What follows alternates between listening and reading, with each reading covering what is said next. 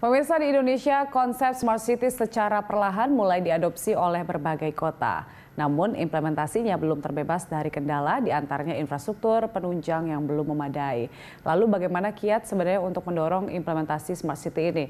Untuk membahas hal itu telah hadir bersama kami di studio Ketua Ikatan Konsultan Teknologi Informasi Indonesia, Pak Teddy Soekardi. Pak Teddy, terima kasih telah hadir di sini. Pak Teddy, kalau misalnya pemerintah berencana untuk membangun 100 Smart City per tahun, ini muluk-muluk nggak sih sebenarnya? Saya kira tidak terlalu muluk ya. Kalau kita lihat jumlah kota yang ada di Indonesia hmm. Dan pada tingkat mana mereka sekarang sudah berkembang, wajar-wajar hmm. saja kita punya harapan 100 smart city. Oke, sekarang tingkatannya sudah di mana Indonesia? Level high, medium atau apa? Jadi kota-kota seperti Jakarta, Surabaya itu posisinya sudah cukup tinggi. Oke. Kota-kota lain ya memang masih banyak harus meningkatkan kemampuannya untuk masuk kategori smart city. Oke, indikatornya apa saja Jakarta sudah memasuki tingkat advance dari smart city?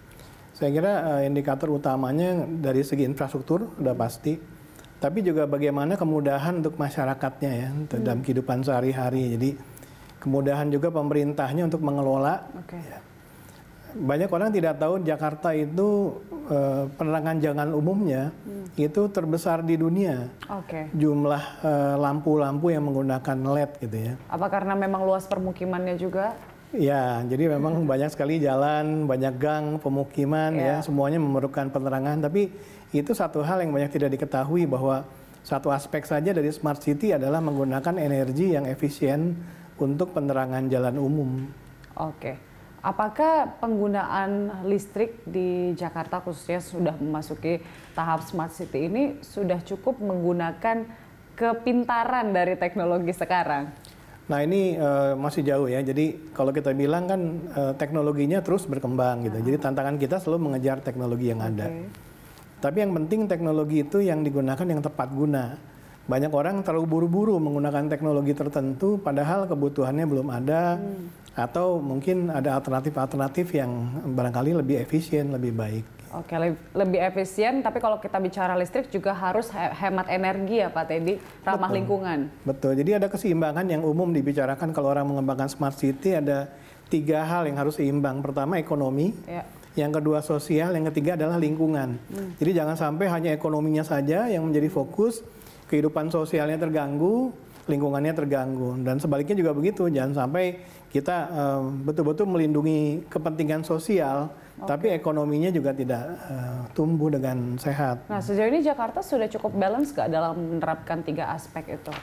Nah itu perlu kajian yang cukup luas ya. Mm-hmm. Jadi balance tidak balance-nya itu masyarakat pertama bisa menilai mm. dan para pakar juga bisa mulai menilai ekonomi, sosial dengan lingkungan seperti apa. Okay. Kita lihat sehari-hari saja kalau di Jakarta orang masih merasa, waduh ini tidak nyaman, mungkin transportasi, uh, waktu perjalanannya masih panjang. Nah itu ini semuanya sedang dikembangkan, saya kira sedang dicarikan solusinya. Oke, Pak Teddy, kita yang sudah kita banyak rasakan adalah tentang pembayaran parkir non tunai, kemudian banyak tenan yang cashless, apalagi ya mungkin dari penggunaan transportasi kita juga cashless udah pakai imani begitu itu penggunaan uh, teknologi tapi seperti misalnya itilang gitu ini tampak belum maksimal begitu Memang ini proses panjang, jadi oleh sebab itu dalam smart city itu yang sering ditekankan adalah bukan hanya teknologinya hmm. saja, tapi juga manajemennya. Hmm. Nah ini yang jadi tantangan besar adalah bagaimana manajemen yang baik itu bisa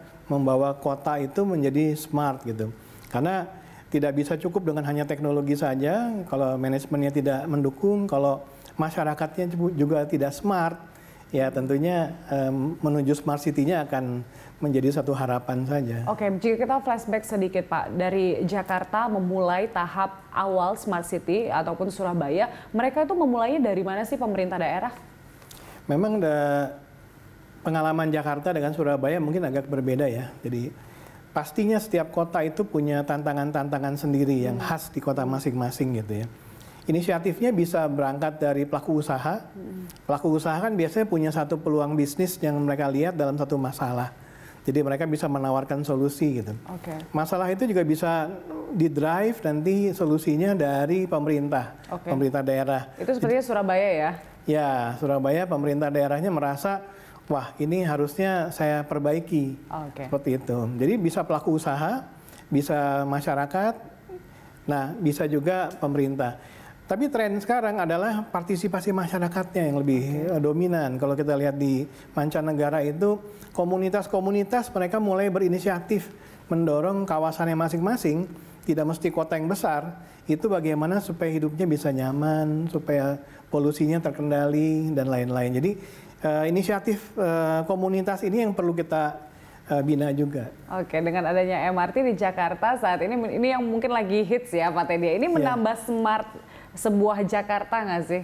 Saya kira MRT satu bentuk mass transportation yang sudah uh, terlambat ya kita kembangkan sebenarnya ya idealnya dibandingkan negara-negara maju lain, lain ya. betul tapi nggak apa-apa lebih baik terlambat dari tidak sama sekali gitu ya jadi sudah menjadi sesuatu keharusan jadi transportasi yang masih menggunakan kendaraan pribadi hmm. transportasi menggunakan uh, bis-bis atau barangkali di beberapa kota masih menggunakan angkot ya. itu sudah tidak efisien.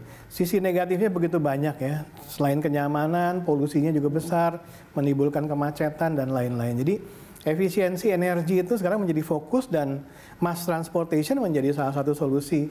Selain juga nyaman, juga hemat, mungkin juga jauh lebih aman ya menggunakan transportasi massal selama Oke. dikelola dengan baik. Oke, kalau misalnya kita contohkan hanya Jakarta atau Surabaya saja, sepertinya pilihan untuk menjadi smart city ini adalah sesuatu pilihan yang sangat ideal dan membuat semakin efisien. Tapi kalau misalnya kita ke daerah lain begitu ya, dengan kota-kota yang masih bisa dibilang tahapnya berkembang, populasinya belum begitu banyak, Pak Teddy. Apakah e, bagaimana dengan potensinya? Apakah ideal untuk menerapkan smart city? Jadi smart city itu tidak mesti teknologi, itu sering saya katakan. Smart city itu sifatnya lintas sektor, lintas keilmuan juga. Jadi kota-kota lain saya lihat, saya sangat optimis. Saya lihat Semarang, Denpasar gitu ya. E, banyak kota-kota lain di Indonesia itu juga masing-masing sudah mulai mengembangkan kotanya dengan banyak inovasi. Yeah, yeah. Tidak mesti dengan teknologi. Tentunya teknologi akan berperan di situ. Dan kondisi mereka masing-masing tadi menimbulkan inovasi yang barangkali unik, berbeda-beda, bisa jadi contoh buat kota-kota yang lain gitu. Semarang satu contoh kota di mana pemerintah kotanya saya kira sudah banyak membenahi administrasi kotanya. Yeah. Nah itu juga satu peluang yang uh, baik untuk smart city karena kotanya sendiri dikelola sudah baik, tentu saja masyarakatnya juga nanti akan mendukung sehingga nanti okay. masalah-masalahnya dapat diselesaikan sebagaimana harapan dari masyarakat. Baik, teknologi bukan satu-satunya faktor, tapi tentunya uh, go digital ini menjadi salah satu aspek penting ya. Tapi kita bahas selengkapnya usai jeda Pak Teddy. Okay. Pemirsa tetaplah bersama kami Digital Insight pasti akan kembali usai jeda berikut.